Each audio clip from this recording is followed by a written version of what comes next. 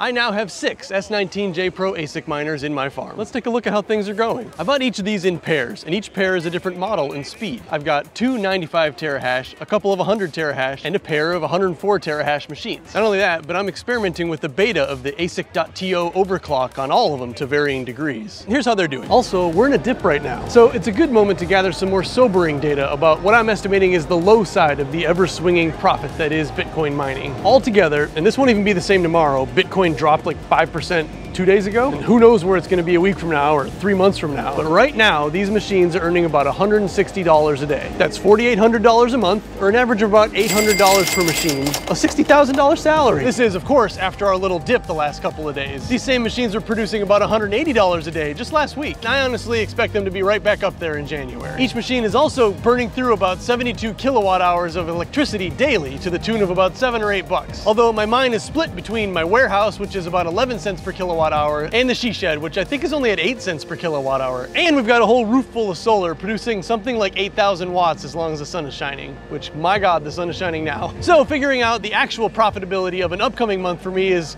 a bit of a guess. But I pay something like $1,300 a month in electricity bills for these S19J Pros when you combine both locations. So if the numbers don't change in the next 30 days, and they will, at this moment, the S19s are profiting about 3,500 US dollars worth of Bitcoin per month after all expenses. I've also got three L3 Pluses and five RTX 3080 GPUs running on this mine. But this video is about S19J Pros specifically, so I've peeled out their electricity and profit data for this calculation. I know a lot of people like to spend a lot of time and energy thinking about how long it'll take your hardware or nodes or stakes or whatever, how long it's gonna take these things to pay themselves off. And people make spreadsheets and precise calculations taking into account the price of electricity and the filter changes and the number of cups of coffee you drink when you're doing all the upkeep.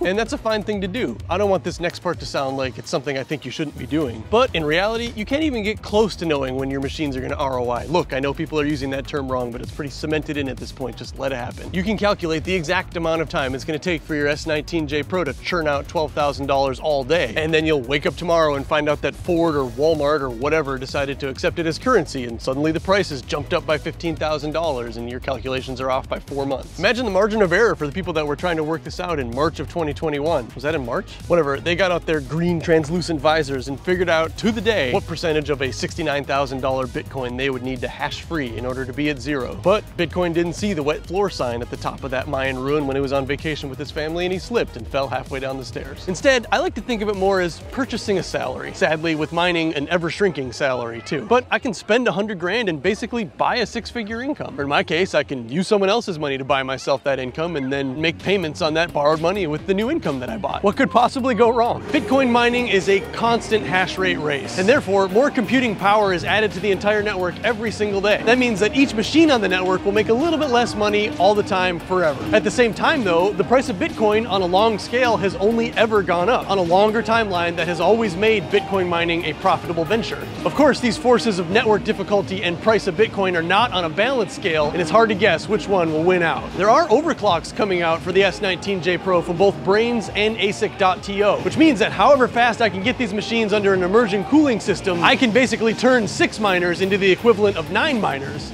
but so can everyone else. So just as fast as I catch up to the new difficulty, it may speed up in tandem. So we race. See you back at home.